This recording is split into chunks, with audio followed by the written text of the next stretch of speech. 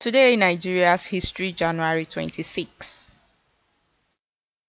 January 26, 1971, actor, producer, and director Muyiwa Ademola is born.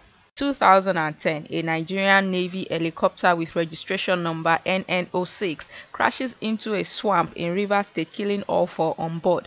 The helicopter was on its way to Port Harcourt from a village in the state where it had gone to investigate an illegal bunkering when it crashed. 1998, boxer Hogan Kid Bassey born Okon Asuquo Bassey, the first Nigerian to win a world boxing title, dies in Apapa, Lagos. He was 65. 2007, Nigerians Iwuchukwu Amaratochi and Malachy Okeke Nelson are executed by Singaporean authorities for being in the possession of 100 capsules of diamorphine or 727.02 grams of heroin. 2009 15 members of FC Jimeta, a football club in Adamawa State, died in an auto crash in Plateau State on their way to Abuja to play a match. Today, Nigeria's history brought to you by Ojora Olabisi.